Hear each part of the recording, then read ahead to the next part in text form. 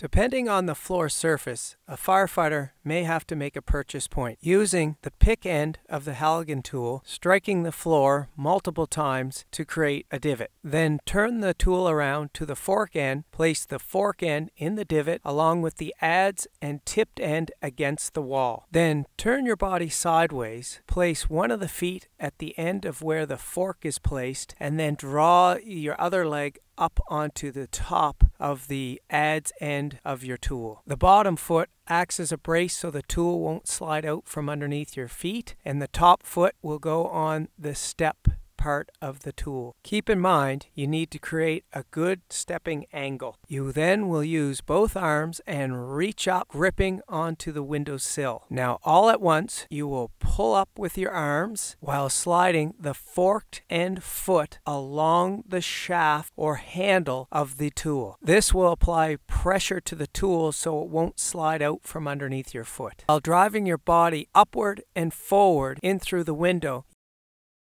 you will try to get your forearms on that windowsill. Once you get your forearms on that windowsill, you will then wiggle yourself to where you can get to your hips. Once you've gotten your hips on the windowsill, you've basically gotten through. As you come out through the other side of the window, you will kick both legs out to the side or swing them to catch yourself to ensure that you can walk your hands out on the surface of the other side of the window. Exit the window in a controlled manner where you'll walk your hands forward, where your feet will walk out the windowsill and down the wall.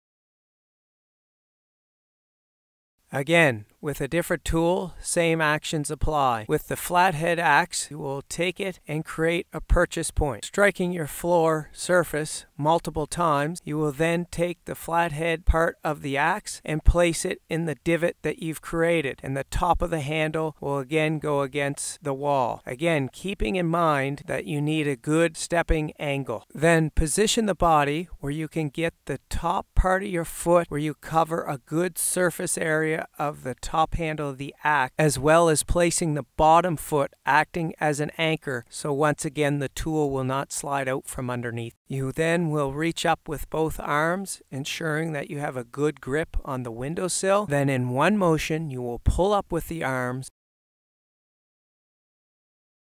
Using the spike end or pick end of the Halligan tool, you will turn sideways and make a baseball type swing approximately at crotch height. We'll drive the spiked end into the drywall, then take your foot and drive it forward so that the adze end is, is now flush to the wall, ultimately creating a nice step. Then reaching up with the hands, grab and grip the windowsill, where then you will step up onto the adze end, pulling yourself up forward and out through the window, where you'll get your forearm arms again on the windowsill. Get your hips to the windowsill, swinging your legs out to the side, again making sure that your hands can reach the ground. Once that's achieved, walk your hands out.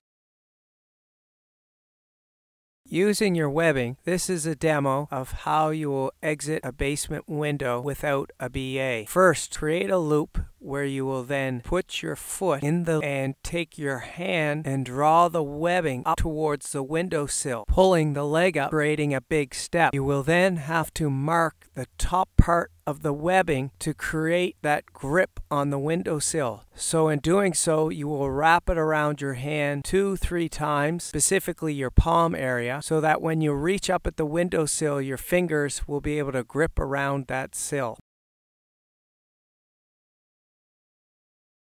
Reach up with both hands. Get a good grip on the windowsill. Pulling with hands, drive yourself up, stepping into the loop, upwards and forward into the windowsill. Bring yourself to your forearms and then eventually wiggling yourself so that you can swing your legs out to the side. Yet again, making sure that your hands can get to the ground. Then simply walk your hands forward while having your feet follow in behind you, walking along the windowsill and down the wall.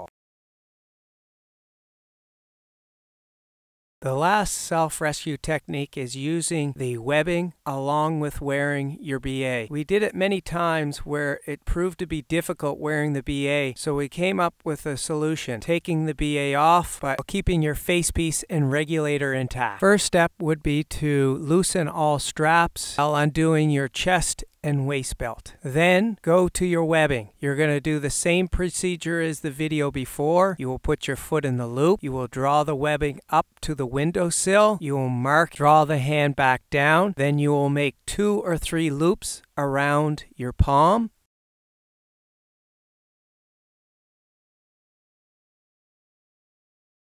And then proceed to take your SCBA pack off. First with the right shoulder, sliding the hand through and your webbing, and then going to your left shoulder strap, which is your air supply line. We refer to it as left for life, and you make sure you control this strap. When you place it up into the window, you will then feel for the ground with your BA, again controlling your line, your air supply line, and you will gently lie it down, preferably off to a corner.